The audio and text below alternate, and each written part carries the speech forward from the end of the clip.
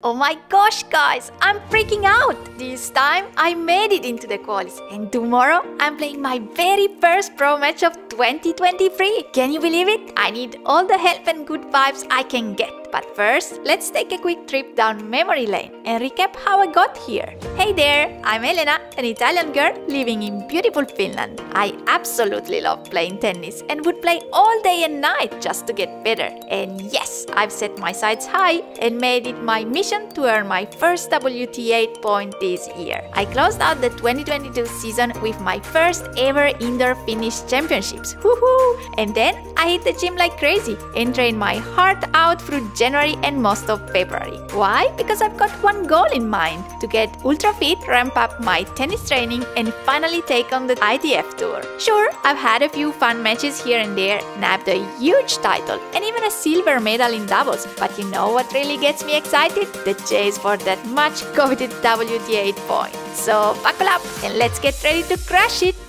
Here I am in Monastir, Tunisia, and I'm stoked to say that I'm getting ready for my first ever 15k tournament. Or is it my second? If you got my latest video, you already know the scoop. But if you haven't, let me just say that last weekend I was all set to rock and roll, but a little glitch threw a wrench in my plans. But you know what? Now I'm here, I'm ready, and I'm pumped to give it my all.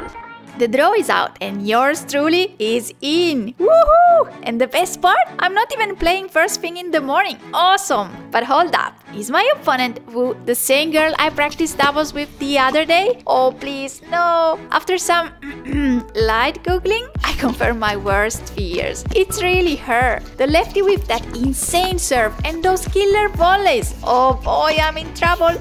It's Sunday and I'm fueled up and ready to rock after my now usual Tunisian breakfast. Time to hop on the shuttle and head to another club in the center of town for some warm up action. On match day, every player is typically only given half a court for half an hour. But guess what? Today, the tennis gods are smiling down on me because the other players are no shows, which means I get to have the whole court to myself for over an hour. Yay! Then back to the hotel, quick lunch with penne al pesto and chicken, and time to keep an eye on my court and wait for my turn. The match before mine flies by, and before I know it, it's showtime. And who do I see on the other side of the net? Yup, you guessed it, the lefty I practiced with just a few days ago. Ay ay ay, this is gonna be a tough one. But you know what they say about tennis. Anything can happen, especially with this hurricane in progress. And boy, did it ever. This time around, I played from start to finish with zero worries and just one goal in mind. Have fun and avoid a double bagel.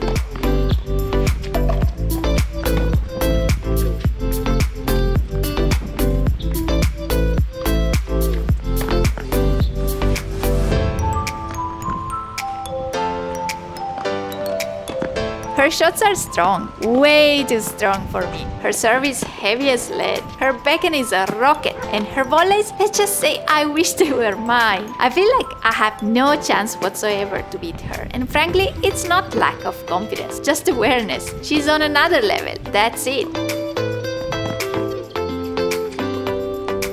But you know what? I still have a blast out there. And yeah, proud to report that I do manage to put her in trouble a few times and even score free games, avoiding the dreaded double bagel. She's definitely going places though, I'm telling you. And indeed, she reached the final in that tournament, starting from the qualies. Can we all agree I was a bit unlucky with my draw? Anyway, no excuses here. I know I need to get better if I want to compete at this level, but I'm not giving up. Next week is another chance. Now back back to work. Thanks for tuning in to my tennis adventures. And don't forget to smash that like button and subscribe for more tennis life. And I'll see you in the next one.